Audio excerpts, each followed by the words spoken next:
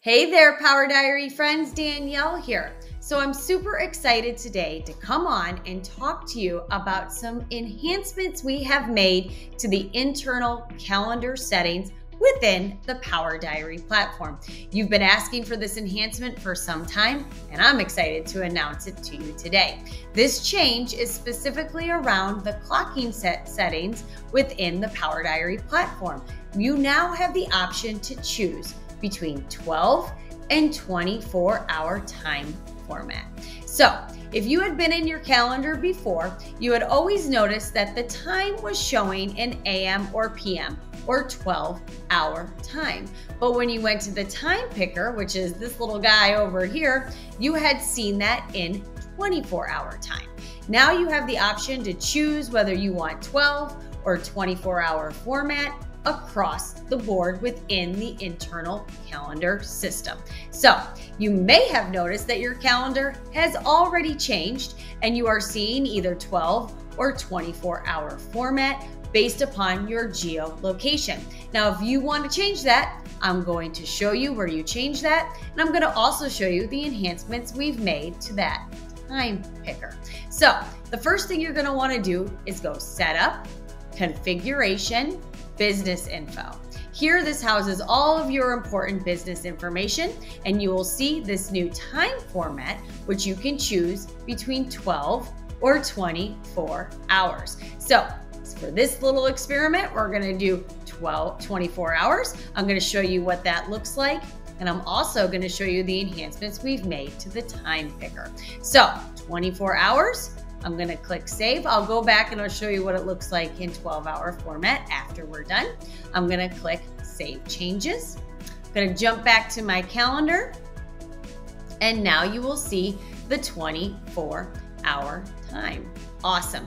Now, let me show you about the time picker and a few changes we've made there. So now again, the time picker is this little guy all over here, little time picker.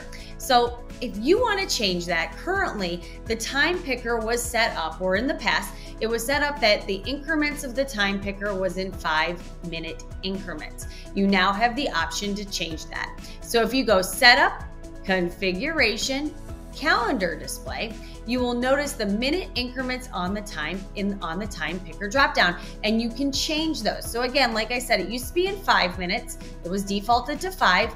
Now you can choose between five, 10, 15, or 30.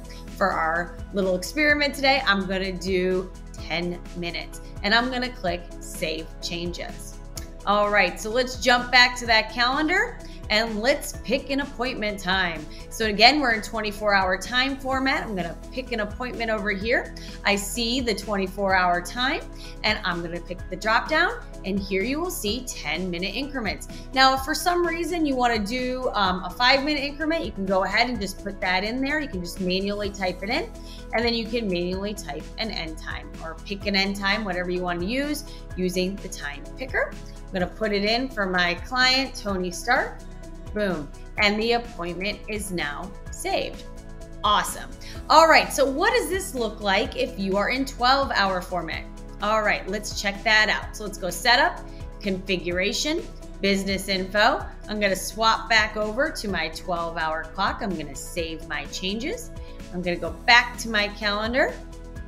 And again, now I'm seeing on the left hand side, the times are in 12 hour time.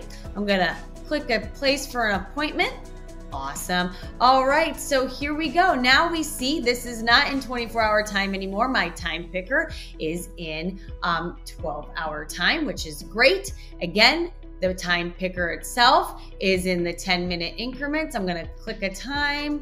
I'm gonna click an end time. Let's give it an hour. I'm gonna add my client. And again, let's do Thor. All right, here we go. And I am going to save. And there you go. Like I said, this enhancement has been something you guys have been asking for for um, a little bit of time. We are super excited to bring it to you.